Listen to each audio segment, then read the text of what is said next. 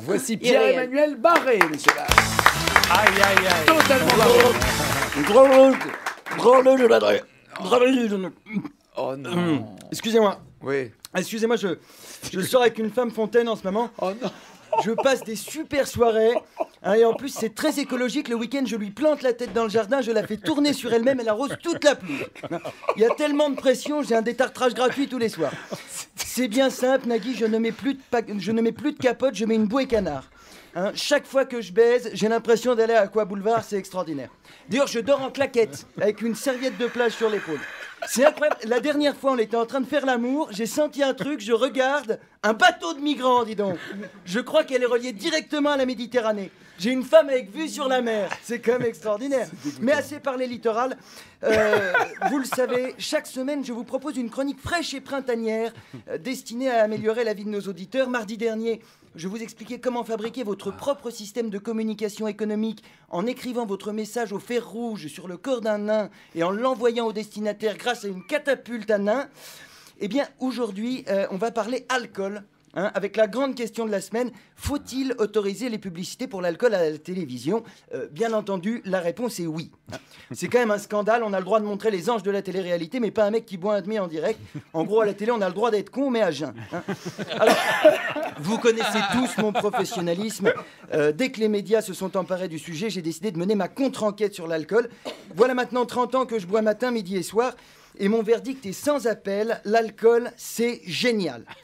Au cours de mon enquête, j'ai pu dégager plusieurs stades d'alcoolémie et vous allez le constater, plus le taux d'alcool dans le sang est élevé, plus ses bénéfices se font sentir.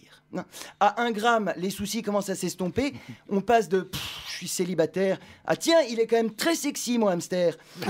À 2 grammes, les soucis disparaissent complètement. hein. On passe de oh non, mon hamster a explosé à tiens, mon chat aussi est très sexy. Oh non. À 3 grammes, on commence à voir double et à trouver tout le monde beau. Mon conseil, draguez une femme moche, faites-lui l'amour et hop, magie de l'alcool, vous aurez l'impression de faire un plan à 3 avec deux bombes.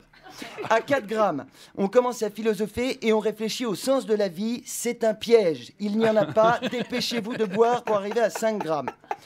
À 5 grammes, on voit la vie en rose. On passe de Oh non, j'ai un cancer des testicules à chouette, je vais me faire palper les couilles gratos.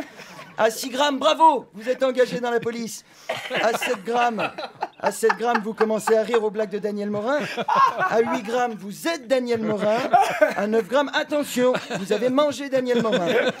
À 10 grammes, euh, c'est le coma éthylique. Et enfin, à 11 grammes, vous êtes content du bilan de François Hollande. Euh, L'alcool, c'est également un excellent substitut à la réussite sociale. Ce n'est pas par hasard hein, si c'est la boisson préférée de nos amis les clochards.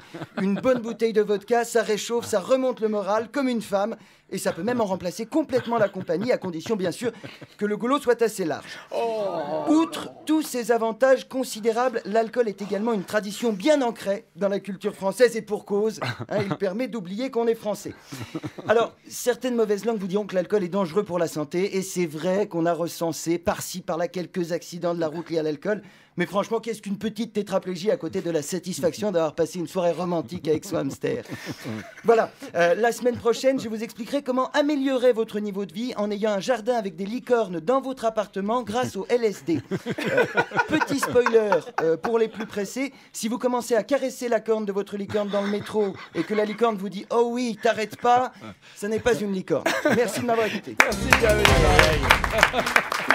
Et je rappelle que Pierre-Emmanuel Barré, c'est son nom, c'est pas du tout un qualificatif. Malheureusement, il aurait un alibi.